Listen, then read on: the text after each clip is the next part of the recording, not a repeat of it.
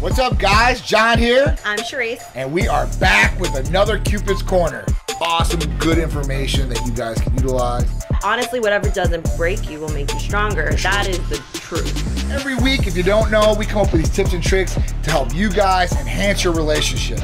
I I hope they all see this episode. Whether it's reigniting that passion or just developing a better, stronger relationship. We went through a lot of these trials and tribulations, so we wanted to give you guys the shortcuts I mean, you guys might even do this and not realize it, and your partner might be currently upset at you. So we might help you in that aspect. This is true. so, we're going to. What's up, guys? John here. I'm Sharisse. and we're back with another Cupid's Corner. So every week we're coming at you guys, giving you guys great tips, tricks, and maybe some scenarios that we went through, or some of our friends or family members, or something we've seen out in public or around town. so uh, you know, every week we want to come up with a great topic to help you guys, you know, flourish your relationship, build a strong, healthy relationship, or maybe a future relationship and maybe not get any bad relationships like maybe maybe one of your past relationships. So relationships deal with a lot of different things and I think this topic that we're going to talk about today is more common than we think, right? Mm-hmm. So let's talk about it. Yeah, because people don't talk about it. Libido issues happen to both men and females. So at that point, you know, we see a lot of ED commercials out there and stuff like that. So we know erectile dysfunction is a big thing with males. Okay, so this uh, happens to the libido, um, and it makes them feel possibly insecure or not, you know, the man they should be and, stuff like that. And they deal with it in different ways. So there's different medications out there that can possibly help a man. But for a female, right, um, they might be going through different things, um, you know, mentally or physically or hormonal for both parties, um, that they're suffering from, you know, a libido that's not so good or a sex life that's not so good. And at that point, they really don't know what to do. And usually, you know, couples, you know, they might not talk about these different things. Yeah. And that could create issues within the relationship. Yeah. Um, it, it's more common than you guys think out there. So let's just get into the topic, I guess. So, you know, what really happens to males and females uh, that causes libido issues, right? So, one, you could have hormonal problems or deficiencies or imbalances mm-hmm. that can mess with your libido or physically and mentally, I guess, right? Yeah. And females the exact same way as guys. And at that point, they don't know really what to do. They're like, you know, I'm, I'm having problems uh, in the bedroom, and then possibly they go see a doctor. They ask a friend, like, you know, hey, listen, things haven't been as good as they used to be, or they're not up to par like I used to be. You know, what can I do? And usually a friend will tell them, you know, you can possibly take this or, or do this, and it's probably gonna, you know, help you out. Or you go to a, a doctor, a medical provider, and they possibly might give you some ED medicines. That's usually just for guys, though. Yeah. But for females, I mean, you know, you guys have to remember too, because people don't think about this, but this is important. So, a lot of people, especially right now with COVID, everybody was inside, nobody did anything, everybody got down and depressed. Now everybody's taking all these antidepressants. Yep. These antidepressants, they kill your libido. Yep. They kill your libido. Even Yep. on paper, it raises your SHBG. Yep. Right? So it just kills your libido. It, and libido could be just, it just can mentally kill your libido, meaning like you don't even think about it. Right. You know, and it, it has may not have anything to do with your very, very sexy husband because he's sexy. But um, you know, it, it might just be just that you don't think about it because you're not like you're not there mentally. You know, you might be there like, you know, as far as physically and emotionally, that kind of thing. But if your libido is just down or lost, you may not even think about it. You know, John used to say it all the time. what did you used to say? Like, you know, if, if the libido is down for a guy, like a girl could walk by in like a maid outfit or something. Yeah. So, like, all right. So, if your libido is unexistent as a Yeah. guy, right, and you don't know this, right, this is not something that you're even thinking about. You know, your wife or partner could walk by and whatever is your biggest turn on, right? Whether it's, you know, you've got the sexy schoolgirl outfit on or lingerie or, you know, you got pigtails. Pigtails. That's one of my favorites, okay? Um, so at that point, like they're in this awesome outfit, they're all dressed up, you know, trying to get your attention, and you're not even thinking about it. You're like, you know you're reading you know an article on your phone, you're watching some TV show, and you know when they're walking by you and they're they're maybe trying to get your attention, you're you're not even like there, right?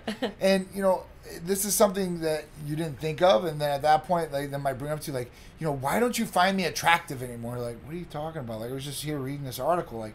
Like we don't have, we're not intimate anymore. We're not doing this. Why? You know, and, and you don't have an answer. You're like, I, I don't know. Like, and then all of a sudden it starts to amount to other things. Like, you know, okay, well, who were you on the phone with? yeah, And now you start getting into all this, like, you know, whoa, okay. I, I mean, is there something else going on? Are you talking to someone else? Are you t- are you doing like stuff on your texting? Is there something in your Instagram? Is there something in your Facebook? Are who you webcamming are you with? TikToking? Yeah. Where, where, where are you? on OnlyFans? Are you swiping to the left? You know, and then guys might be so innocent, like I really don't know. Even girls can be like, I, True, I'm sorry, true. like I, I don't, I don't know why this is going on or whatever. Yeah. You know, and another common medication that people are taking, especially for guys, so hair loss. A lot of guys Woo. like their hair, just like one's a killer. females. They want to keep their hair, and they ask their doctor, "Hey, listen, I'm losing some hair, I'm thinning, or I have predisposal to you know balding because of my family. Yeah. You know what Male medications can I take?" So they give them finasteride, Propecia. Ugh. So it's great. It might help you keep some of your hair, but it's like a male castration drug. It will literally kill your libido. For most people, it has this effect. Yeah. You know, I've tried this medication. I know personally, I've been through it, where Poor me. we are very active every day. You know, as far as that goes, um, I you know I, I love to be intimate with my wife. You know, I find her very attractive to this day, 13 years later. So you know, I, I want to be intimate with her. So when I was on this medication, it builds up in the system, and literally it was happening to me like. Like a couple of days ago by, you know, I wasn't thinking about it, you know, wasn't reacting to things, and then I had to, you know, like start thinking about that, like, what's going on that I'm not wanting to do this because I like or find enjoyment in this big time, right? And then I, you know, I, you know, you go reading the medication. This is a main side effect. A lot of guys are taking this medication. It's a big there. one, yeah. and you don't gotta, want that. Then you got to pick between your hair and sex. Listen, I know this. If it's between my hair and sex, I'm probably gonna pick sex.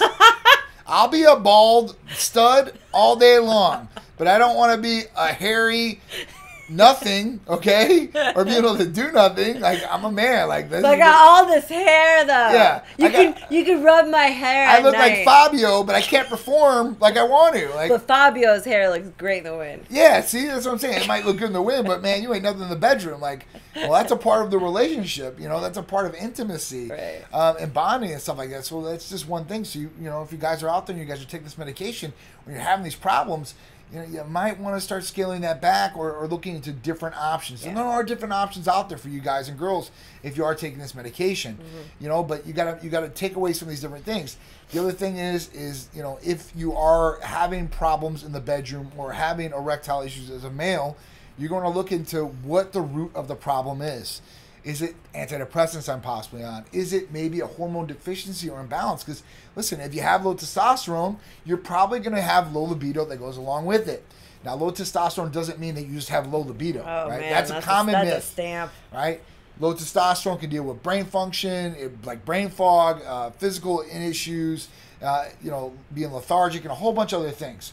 But it will directly affect libido too, as well. Okay, um, so Same that- thing for the females. Same I thing mean, for females. Yeah, I mean, 150 million percent for everybody that is postmenopausal. Usually that happens somewhere between the age of 45 and 55. Mm-hmm. Nowadays, with all the hormones they're putting in our food, it's happening somewhere between 35 and 45. Yep. So it's happening earlier and earlier and earlier, just like females are getting their menstrual cycles Yep. at like nine. This Yep. is crazy. But I mean, when you're postmenopausal, you no longer have any estrogen, no longer have any more estrogen. You don't create any lubrication down there. Mm. Don't create any lubrication down there. It's dry and Don't it be a desert. Feel good. I, you know, it doesn't feel good for either one of you. It could create some chafing and for for both not parties. good friction. It's not great for yeah yeah. I mean you know KY jelly can only go so far. Exactly. So you know it's important to do that. And honestly, you don't even need to be postmenopausal because you can have a hormonal imbalance at the age of 25 Yes. to be Yes. quite honest with you. So, I mean, that's huge. That's a big portion of it. And the hormonal imbalances don't just affect you physically, erectile slash vaginal dryness. Um, it also affects you mentally. You know, so that's why they say sometimes people like for females, they might feel like they're being bipolar. They're like crying one minute happy one minute, crying one minute, happy one minute, but they're really just have a super super hormonal imbalance. Yep. And th- and then obviously, let's just say for instance that you're crying one minute, you know, happy one minute, whatever that might be, and you are literally getting on your husband's last nerve, right? then he's probably not going to want to be intimate if you're like really annoying. You know, you're really just. Eh, eh, eh, eh, eh. I mean, he might just do it to do it because he's a guy. guys are guys, because we can't take that away from guys, right? Right? guess, yeah. Okay. Well, the guys are guys, so, you know. But ultimately, you know, if you're annoying him, he may not want to be intimate with you. Yeah. That's important. It, it, it definitely is important, you know, and, and you know, usually partners, usually it happens to one partner, like super low libido, uh, and then the other partner's like, hey, what's going on, you know, and then you're like, well, I don't really know, and that's when, you know, you want to see what's going on because you want to be able to please your partner, you know, because that's a part of being in the relationship. You want to make sure your partner's happy, and you want to make sure you're taking care of all their needs and stuff like that, and that's really where it comes into play. You know, we ha- we deal with it all the time here, where you know, let's say a guy comes in, he has low testosterone, we get him back up to where he needs to be. He's back home and he's raring to go all the time. Yee. And the wife is like, "What is Oh, going on calm here? down like, now." I, I don't have that drive. Like, I want to be like you too." And that's when they call us up, and they Yeah. usually both get on programs. You know, that's another thing. So, whether you're a male or female, listen, here at Titan Medical Center, we have options for both parties.